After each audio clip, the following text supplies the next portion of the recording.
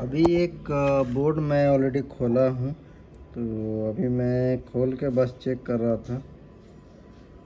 तो क्या क्या गया हुआ है? थोड़ा देखें, थोड़ा इस पर इसका पार्ट नंबर है L A A triple nine nine three P ये इसका पार्ट नंबर है। ये मेरा HP का बोर्ड है।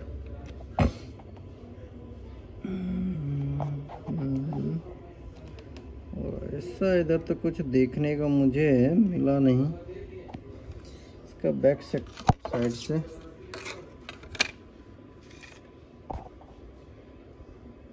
बिल्कुल सही है।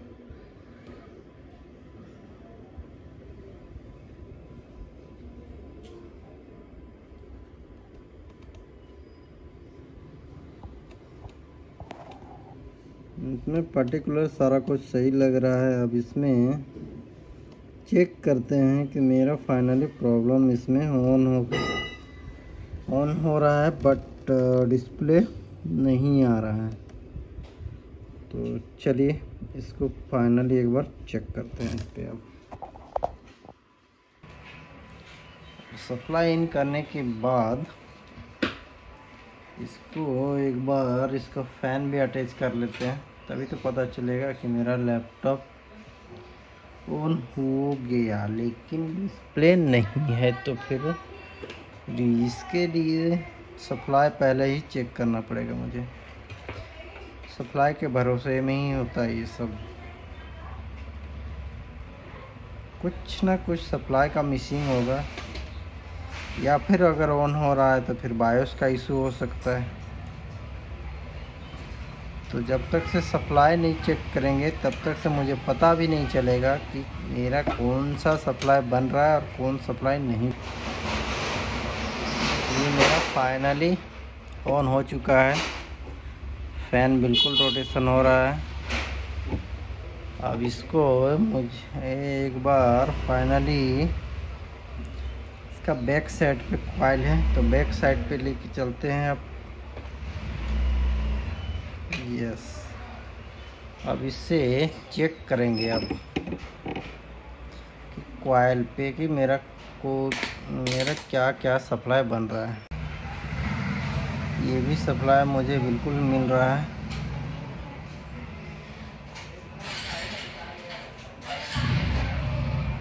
ये मुझे 3.5 वोल्ट का कॉयल है। और इधर का सप्लाई इसका सप्लाई मेरा कुछ नहीं बन रहा। चलिए ठीक है। और इधर रैम का सप्लाई थोड़ा चेक कर लेते हैं। 1.3 वोल्ट बिल्कुल सही है। प्रोसेसर को अभी खोल के देख लेते हैं कि मेरा प्रोसेसर भी किस हाल में है थोड़ा।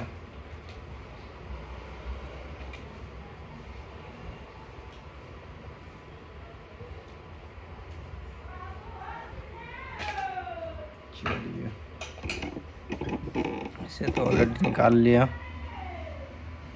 इधर तो कुछ वैसा डस्ट फील नहीं हो रहा है। चलिए।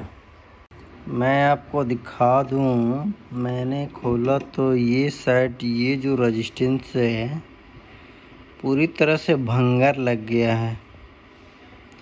इस वाले रजिस्टेंस पे। तो क्या फाइनली है, ये किस चीज़ का सप्लाई है? इसको थोड़ा सा डायग्राम में थोड़ा इसको देखते हैं, तभी फाइनली पता चलेगा कि ये मेरा प्रॉब्लम आखिर इसी से है क्या? क्योंकि ये सारा सप्लाई बन रहा है तो ये प्रोसेसर से साइड में मुझे ये चीज़ प्रॉब्लम मुझे नज़र आया। तो इसे एक बार थोड़ा सा देख लेते हैं इसको अब। इस रजिस्टेंस में मुझे आप देख सकते हैं, पूरा पी आर एच बाईस में पूरा जंग लग चुका है एक साइड पे। तो इसे मुझे फाइनली चेंज करना ही पड़ेगा। मुझे कोई बोर्ड से निकाल के लगाना पड़ेगा। तो चलिए इसे निकाल के लगा लेते हैं और आपको डायग्राम में भी दिखाते हैं इसका काम क्या चीज़ है का है।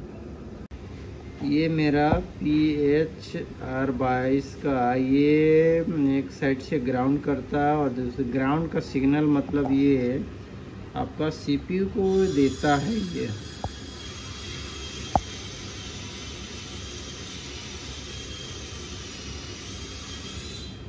तो ये ग्राउंड का सिग्नल देता है तो इसका हो सकता है ग्राउंड का सिग्नल नहीं मिल रहा होगा। तो उसके कारण से भी हो सकता है कि मेरा ये सप्लाई में प्रॉब्लम करता होगा। अब इसे फाइनली रिप्लेसमेंट करके एक बार देख लेते हैं। उसके बाद फिर डिस्प्ले चेक करेंगे रिप्लेसमेंट करने के बाद अब। ये फाइनली मैं चेंज कर चुका हूँ। अब थोड़ा सा दिखा दूँ। चेंज कर चुका हूँ। अब इसे फाइनली ब्रश से थोड़ा साफ़ कर लेते हैं।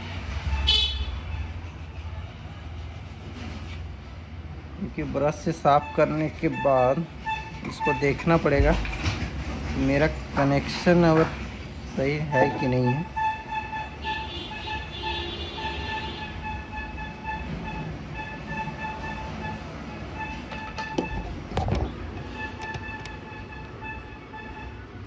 यस।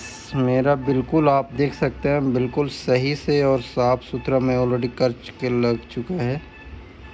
तो चलिए अब इस पर फाइनली एक बार फिर से डिस्प्ले चेक करते हैं, क्योंकि ये मेरा सीपीयू सेक्शन का था फाइनली इसे एक बार ठंडा होने के बाद इसे ऑन करते हैं और ऑन करने के बाद इसे देखते हैं फाइनली मेरा डिस्प्ले आ रहा है कि नहीं आ रहा है। तो इसके लिए मुझे हीटसिंग वगैरह सब लगाना पड़ेगा मेरे पे।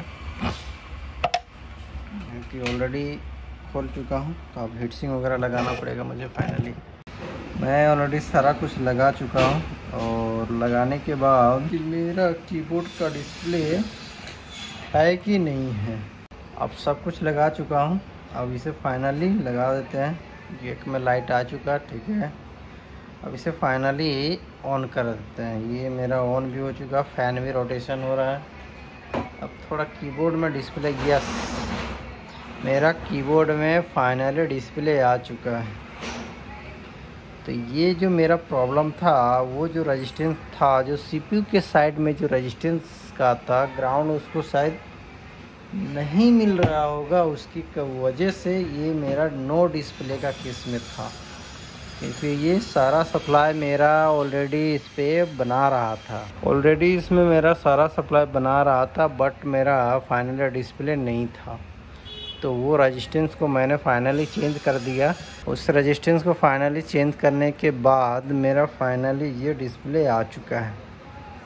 अब चलिए इसे फाइनली बोर्ड में कस के थोड़ा सा देख लेते हैं कि इसमें मेरा डिस्प्ले है कि नहीं है। तो अब इसे फाइनली ऑन करते हैं। और ऑन करके देखते हैं फाइनल डिस्प्ले यस ये मेरा फाइनली डिस्प्ले आ चुका है। तो चलिए दोस्तों थैंक यू काकि इसका फ़ैन तो लगा ही नहीं। ये बिल्कुल एक छोटा सा प्रॉब्लम था रजिस्टेंस का इशू था। वो भी प्रोसेसर के सामने में।